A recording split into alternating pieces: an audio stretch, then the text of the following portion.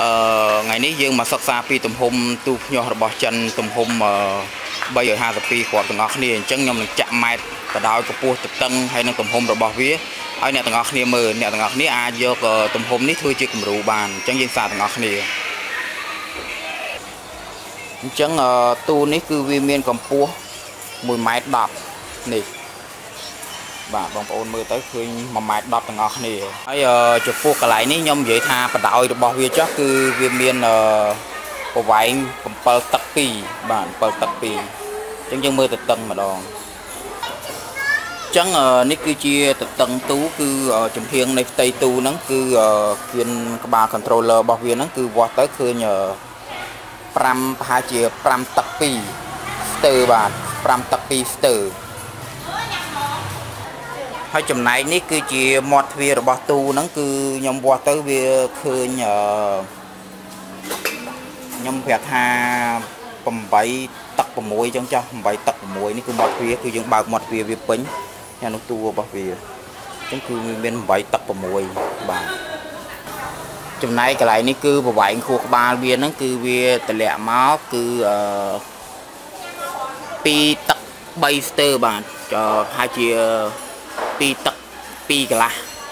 នេះប្រវែងខួរក្បាលរបស់វាវាទុកកន្លែងដាក់ខួរក្បាលរបស់វាហ្នឹងបាទចំណែកខាងនេះគឺជាប្រវែងកម្រិតពីកញ្ច្រែងមួយទៅកញ្ច្រែងមួយរបស់ទូហ្នឹងគឺប្រហែលជាមួយទឹក3អញ្ចឹងបងប្អូនមើលទៅ គឺមួយទឹក3ស្មើគ្នា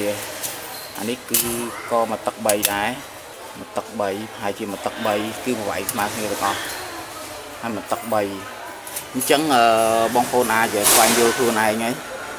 គឺអានេះគឺវិមាត្រទូបងប្អូនអាចយកគំរូតាមប្លង់នឹងទាំងអស់ទៅបើបងប្អូនចង់ធ្វើទូ352គ្រាប់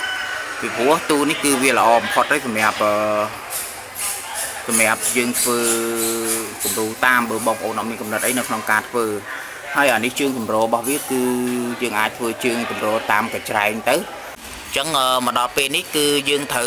ចាប់ដើមវាស់កញ្ឆែងទាំងអស់គ្នាអញ្ចឹងខ្ញុំនឹងធ្វើឲ្យប្រកាសថាតើកញ្ឆែងរបស់វាមានទំហំប៉ុណ្ណាអញ្ចឹង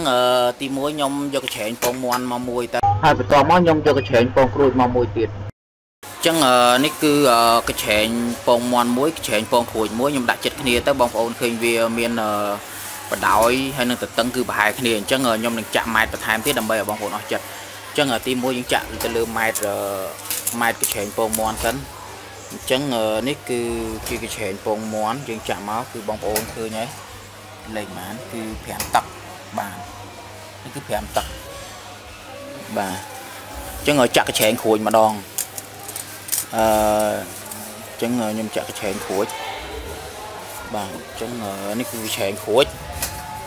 គឺប្រហែលជា5ទឹកដូចគ្នាបាទអញ្ចឹងគឺកញ្ឆែងក្រួយអញ្ចឹងយើងវាស់ទៅតឹងវាម្ដងអញ្ចឹងខ្ញុំព្រាយវាដាក់ទៅជាទៅតឹងវិញចឹងនេះទៅតឹងកញ្ឆែងមន់ហើយកញ្ឆែងក្រួយមើលទៅគឺក៏វាប្រហែលគ្នាដែរអញ្ចឹងខ្ញុំនឹងចាក់ម៉ែត្រដូចគ្នាដើម្បីឲ្យបងប្អូនមើលហើយឲ្យអស់ចិត្ត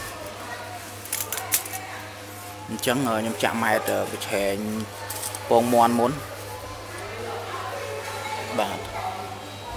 គឺ3ទឹក6បងប្អូនឃើញ3ទឹក6អញ្ចឹងយើងចាក់កញ្ឆែងចាក់ម៉ែត្រទៅលើកញ្ឆែងពងក្រួយម្ដងគឺប្រហែលជា3ទឹក7គឺវាលើខ្វះគ្នាបន្តិចបន្តួចអញ្ចឹងអឺបងប្អូនអាចស្វែងយល់បាន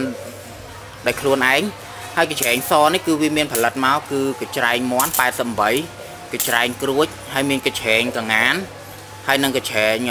ពងទាមួយទៀតអញ្ចឹងវាមាន4ប្រភេទដែលបងប្អូនអាចជ្រើសរើសបានហើយបងប្អូនធ្វើឲ្យជើងវាប្រហែលប្រហែលគ្នាទៅគឺជើងកញ្ច្រែងនេះគឺអាចផ្លាស់ប្ដូរគ្នាបាននៅពេលដែលបងប្អូនចង់ភ្ញាស់ក្រួយក៏បានភ្ញាស់មន់ក៏បានភ្ញាស់កងានក៏បានឬក៏ពងទាក៏បានបាទអរគុណបាទបងប្អូនត្រូវការអីវ៉ាន់អស់ទាំងនេះបងប្អូនអាចតំណែងជាមួយក្រុមការងាររបស់យើងបានតាមលេខទូរស័ព្ទ016 321 421 បើបងប្អូនត្រូវការទិញអីវ៉ាន់សម្រាប់ដំឡើងទូភ្ញាស់ឬក៏ចង់ជាវនៅទូភ្ញាស់ស្រាប់ស្រាប់បងប្អូនអាចទំនាក់ទំនងជាមួយនឹងក្រុមការងាររបស់យើងបានតាមលេខទូរស័ព្ទ016 321 421បាទអរគុណ